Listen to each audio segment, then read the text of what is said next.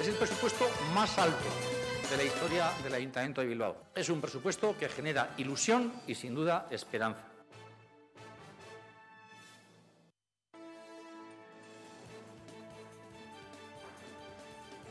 Bilbao presenta un presupuesto de 633 millones de euros para relanzar la economía y el empleo. Una propuesta de inversión tras dos años muy duros. Hola, ¿cómo están? Luego veremos en qué consiste ese proyecto que presenta el equipo de gobierno y qué piensa de momento los partidos de la oposición a los que esta misma mañana se les ha contado cuál es la propuesta. Además, nos eh, centramos en una reunión que tuvo lugar ayer. Les mostramos las imágenes en el informativo, la reunión entre el consejero Arriola y la ministra de Transportes para luego contar cómo va a ser la llegada del TAP. Algo que no ha gustado ni a Basauri ni a Bilbao. Es inaceptable que nos hayamos enterado de que se va a construir una estación provisional del TAP en La Pacha por los medios de comunicación.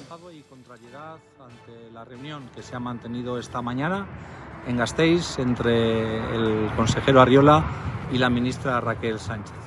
Una reunión de la que yo como alcalde de Bilbao no tenía constancia y donde se han abordado cuestiones referentes a la entrada del tren de alta velocidad en Bilbao. Dos alcaldes del PNV molestos con un consejero que es parte del gobierno del Endacari. Hoy Urcuyu también ha hablado de lo que ha pasado. Veremos cuál ha sido su respuesta. En la capital, ayer una visita especial a las Juntas Generales y con una guía de lujo, la propia presidenta de las Juntas.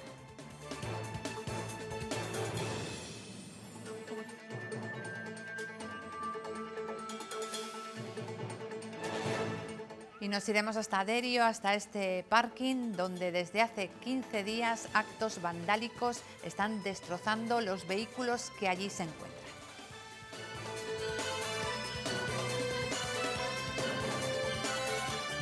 En Baracaldo, una bola del mundo es el homenaje que el municipio brinda a Juan de Zubileta. Es un marinero de la localidad que fue uno de los dos que terminó eh, la vuelta al mundo en el mismo barco. Conoceremos sus hazañas. Es parte de un informativo donde también tenemos otros temas que contarles.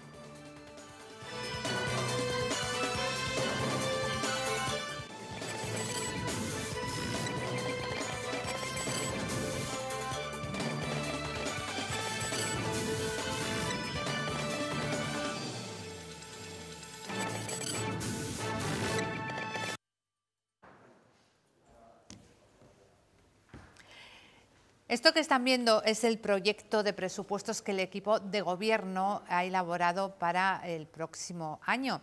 Son las cuentas, las inversiones y los gastos para avanzar en una ciudad que, como todo el mundo, ha pasado dos años muy duros. Como ven, esos presupuestos son 633 millones de euros, un 8% algo más superior al que se presentó en la pasada edición. Unos presupuestos que se centran en salir de la crisis, en invertir en una ciudad que quiere seguir mirando hacia adelante con la mirada puesta en los barrios y también en el empleo, además de la calidad de vida y otros, eh, otras obras que estaban pendientes y que aparecen en ese proyecto que esta misma mañana presentaba el alcalde con la responsable de Hacienda.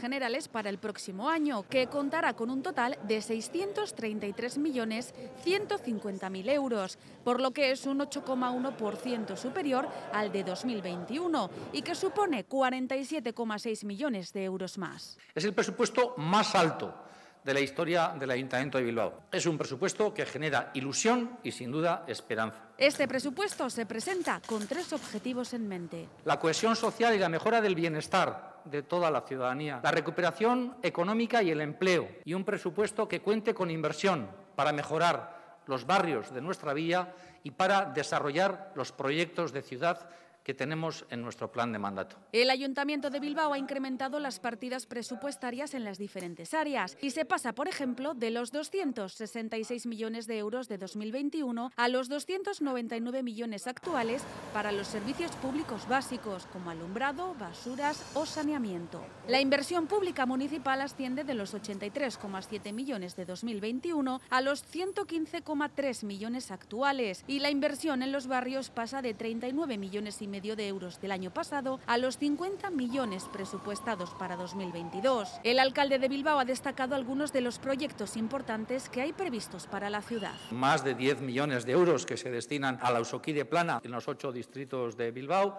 a la aportación que haremos a la Junta de Concertación de Zorrozaurre con 5 millones y medio destinados a que Zorrozaurre siga su proceso y podíamos seguir avanzando con la Plaza San Pedro, que continuará con la Campa Basarrate, con tantos y tantos proyectos, con el Polideportivo de Archanda. Además, destaca el hecho de que por primera vez la ciudadanía ha votado por los proyectos de los presupuestos participativos, que supondrán una inversión de 2 millones de euros. Hay medio millón de euros destinado a la conexión de un Videgorri que vaya desde, desde el ayuntamiento con, con Zumalacárregui. Hay otro, otro medio millón de euros que va destinado a un eh, parque en Jardines de Guernica, en la zona de Miribilla, con un skate park, una, bueno, una inversión destinada a la ciudadanía. Hay 200.000 euros que van destinados a mejorar nuestra perrera. Yolanda, hay hasta 6.000 euros para una fuente en Deusto. También se da importancia a los planes de empleo y emergencia social, con más de 10 millones de euros en total. Y como la pandemia no ha terminado, se llevará a cabo otro plan Bilbao Aurrera. Aunque si algo vuelve a la normalidad y que es ilusionante de recuperar, es el presupuesto para la Aste Nagusía, con 2.352.424 euros, que harán a la población disfrutar de uno de los eventos más esperados desde la llegada de la pandemia.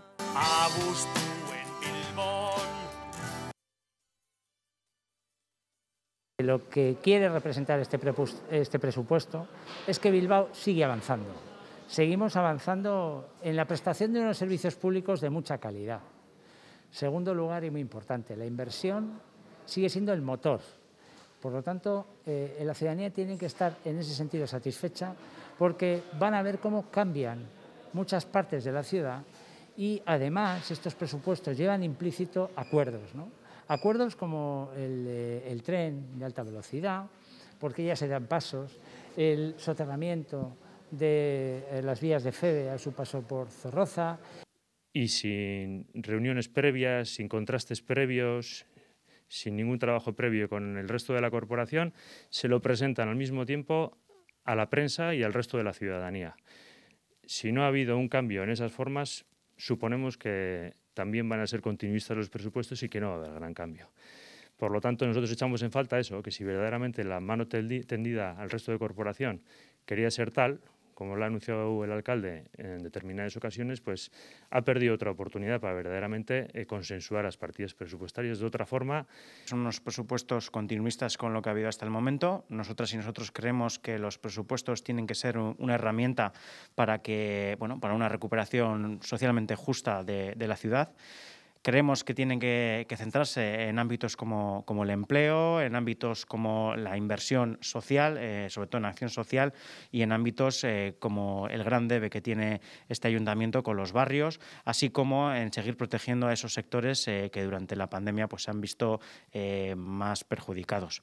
Que los presupuestos año tras año son cada vez más presupuestos del Partido Nacionalista para los nacionalistas y menos presupuestos municipales para los bilbaínos.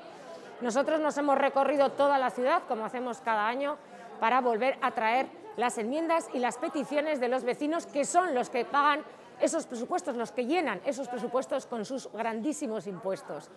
Hay muchas cosas que se aprobaron en los presupuestos anteriores que siguen sin hacerse y estaremos muy en Juavizor antes de negociar nuevas a ver qué va a pasar, porque no es justo que tengamos presupuestados temas como Sendeja o el Riabús y sigan parados.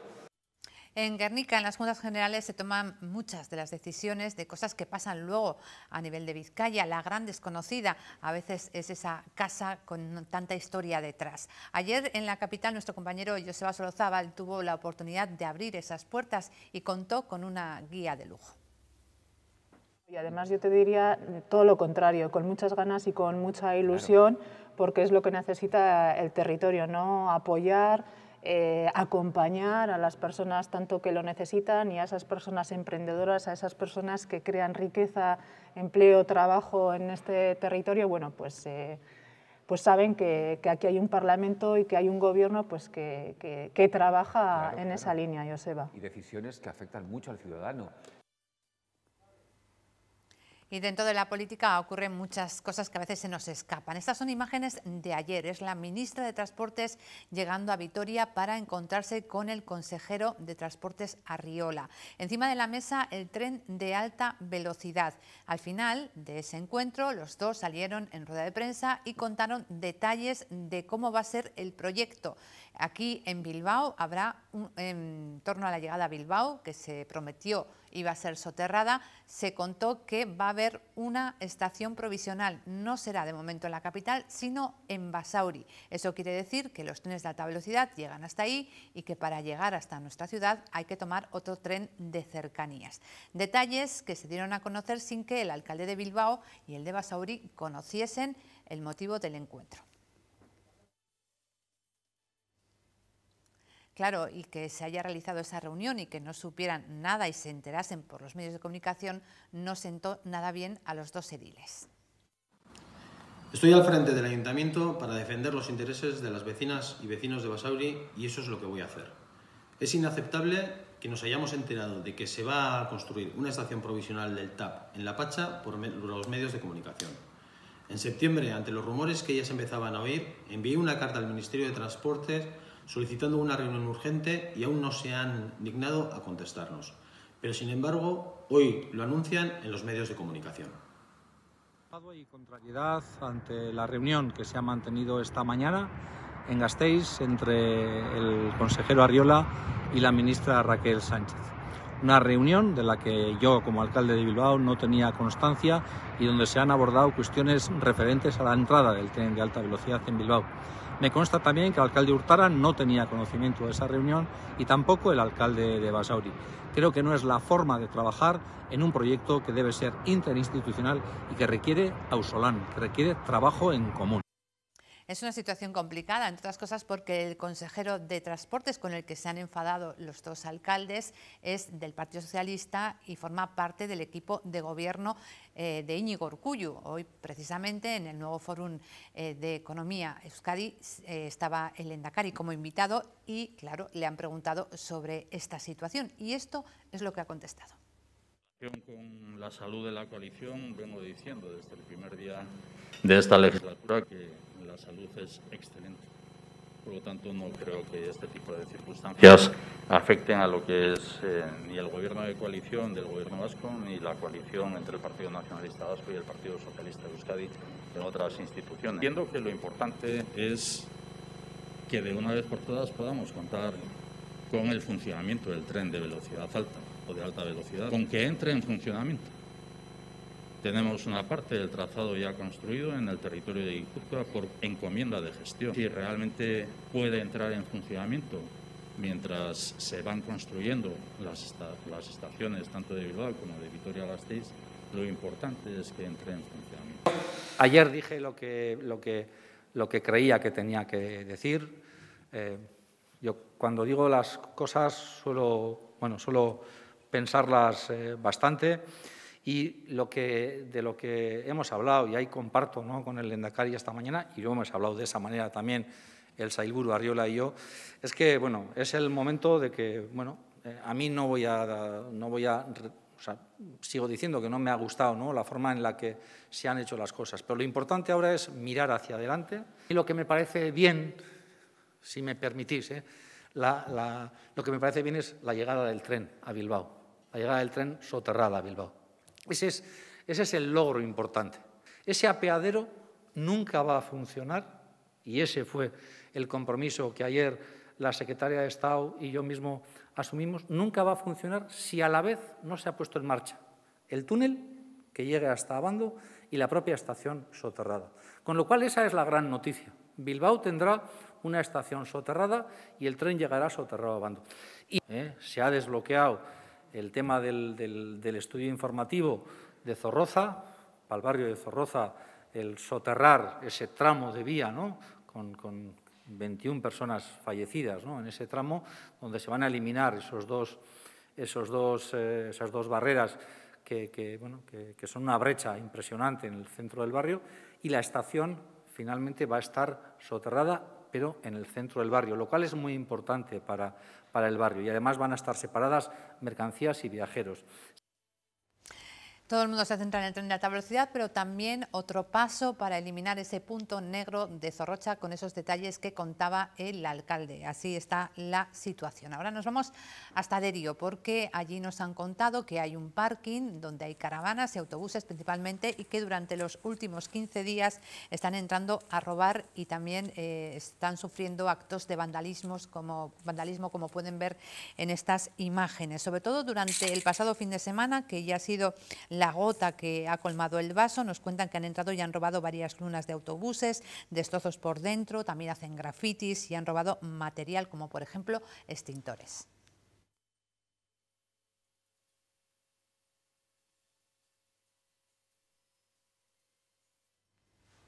Esa es la denuncia que nos hacen desde Derio y ahora nos vamos a conocer el tiempo.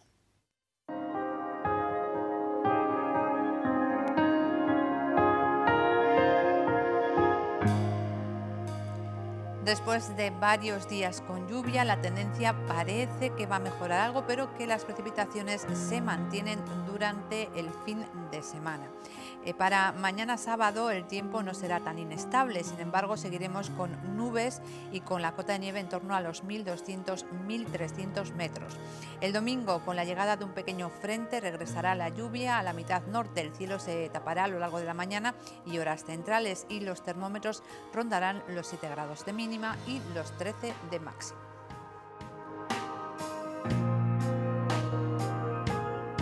Vizcaibús por una Vizcaya más limpia.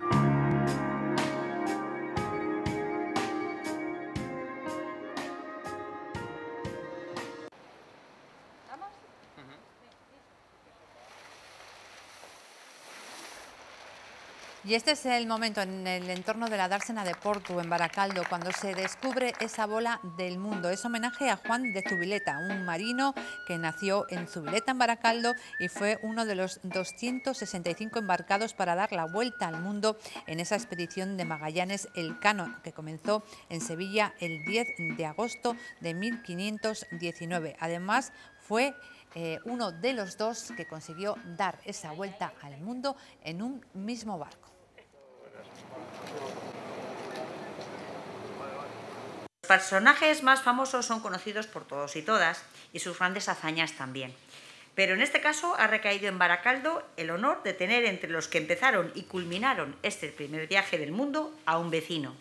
Alguien desconocido, del que no existen muchos datos, pero del que a día de hoy sí sabemos tres datos importantes. Primero, que estuvo en ese viaje, como se puede verificar por las listas que existen de aquellos marineros y que nadie pone en duda. Segundo, que fue de los pocos que acabó el viaje. De entre 255, solo 18 consumaron la hazaña y entre ellos se encontraba Juan de Zubileta. Y tercero, que era baracaldés, nacido en el barrio de la margen izquierda del Cadagua e hijo de Martín Ochoa de Zubileta y de su mujer Sancha. Salió de Sevilla el 10 de agosto de 1519 junto a otros cuatro naos y unos 250 hombres, y el 6 de septiembre de 1522 desembarcó en San Lucas de Barrameda junto a 17 hombres en la nao Victoria. Para homenajear a Juan de Zubileta eh, con la inauguración de este globo terráqueo que nos muestra el recorrido de la primera vuelta al mundo. Bueno, ¿quién dio la primera vuelta al mundo? ¿Eh? Si les preguntamos a los portugueses, ellos te dicen que Magallanes. En Guetaria tienen claro que fue el Cano. En Wikipedia habla de la expedición Magallanes-Elcano. Bueno, pues a nosotros aquí en Baracaldo nos gusta decir que fue Juan de Zubileta el que dio la primera vuelta al mundo. Y empezamos con propuestas para que sigan con nosotros durante este fin de semana. Una de ellas esta noche a las 10 en la tribuna. Entrevistamos a Antonio Pampliega, el periodista que ya sabe que es estar secuestrado por los talibanes y que ha logrado salvar muchas vidas en el conflicto de Afganistán, entre ellas la de Nilofar, la que ahora es jugadora del Vidaideak. Muchas posibilidades de que salgan de aquí a final de mes, con una ONG que se llama Fortin Lawyers, además ONG vasca, y entonces eh, Ignacio Rodríguez Tucho, que es el, uno de los fundadores y que somos muy buenos amigos desde hace años, bueno, pues él me cede 14 asientos en uno de los próximos aviones de los vuelos charter que van a salir de Kabul. Entonces, en esos vuelos irán las siete integrantes de la Selección Nacional de Baloncesto que me quedan por sacar más un acompañante a cada una.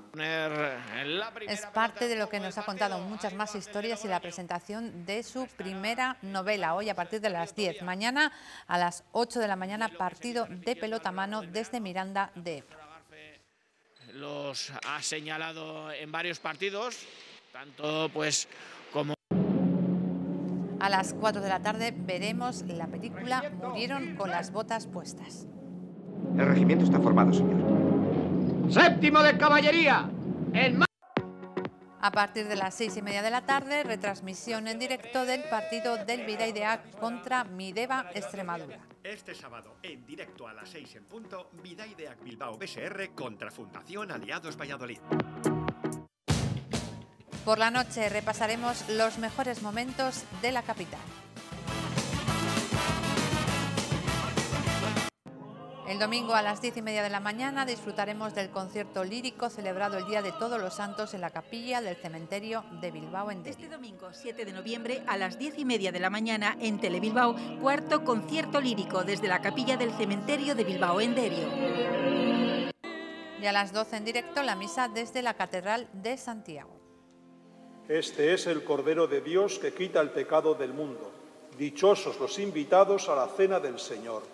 Señor, no soy digno de que entres en mi casa. Por la tarde del domingo, El hombre de la Raime, protagonizada por James Stewart. Vaya, ¿se trata de una fiesta particular? No, no, a una boda puede venir cualquiera. No olvidamos de que ese domingo a las 10 María Jesús García estará en revista semanal. Y nos vamos con imágenes de Leyoa, que ha convertido el Parque de Pinosolo en un bosque de los deseos. El Ayuntamiento ha organizado este espectáculo de luz y música para este fin de semana. Ayer ya pudimos disfrutar de él, pero es mejor que lo vivan en directo. Con estas imágenes nos vamos, que disfruten del sábado, del domingo. El lunes volveremos con toda la información.